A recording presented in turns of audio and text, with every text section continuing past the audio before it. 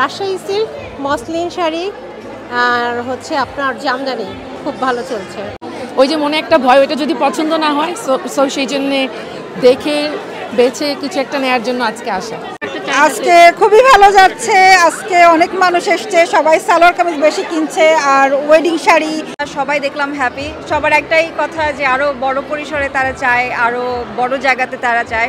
মেলায় বেশি বিক্রি হলো এই জায়গাটাতে বেডশিট ব্লকের বেডশিটগুলো খুব গেল।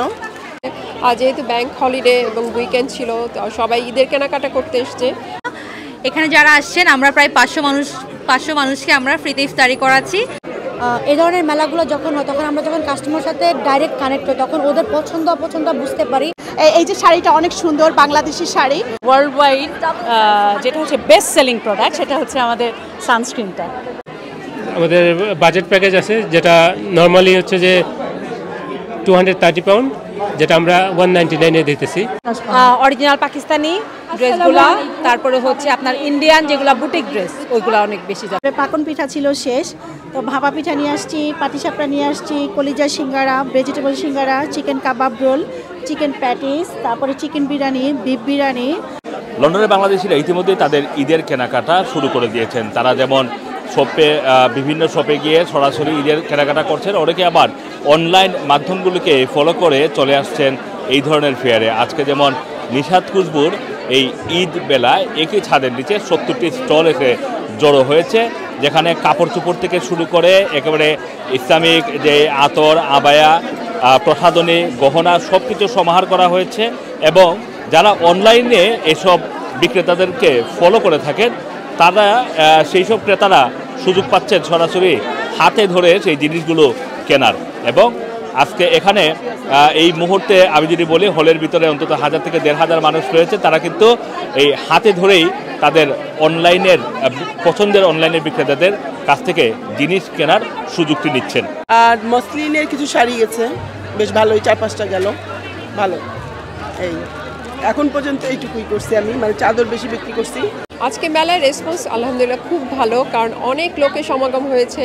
আর যেহেতু ব্যাংক হলিডে এবং উইকেন্ড ছিল সবাই ঈদের কেনাকাটা করতে এসছে। প্লাস বছরে তো একটাই আমার মেলা করা হয় খুশবুর সাথে। এখানে সবার সাথে দেখা হয় কাস্টমার আসে, আমার সাথে কথা বলতে চায় আমার সাথে দেখা হয় প্রোডাক্টটা দেখে নিয়ে অ্যাডভাইস নিয়ে কিনে।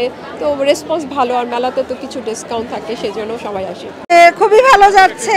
আজকে অনেক মানুষ এসছে, সবাই সালোয়ার কামিজ বেশি কিনছে, আর ওয়েডিং শাড়ি এক্সক্লুসিভ শাড়িটা বেশি কিনছে। আমার কাছে দেশি ব্লগের বেডশিট আছে, ওটাও অনেক ভালো যাচ্ছে। আলহামদুলিল্লাহ, খুব ভালো যাচ্ছে।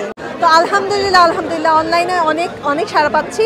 আর মেলাতে আসছি প্লাস সবার সাথে দেখা হবে, কেনাকাটা হবে। বাট মেইন জিনিস হলো আমাদের পরিচিত লাইক আমাদের এনজিও বেসড এটা দুস্থ যে মহিলারা আমাদের এখানে কাজ করে, ওদের জন্যই আমাদের এসব করা। সব all the profit goes they so ওদের, ওদেরকেই আমরা সাহায্য করি আর কি।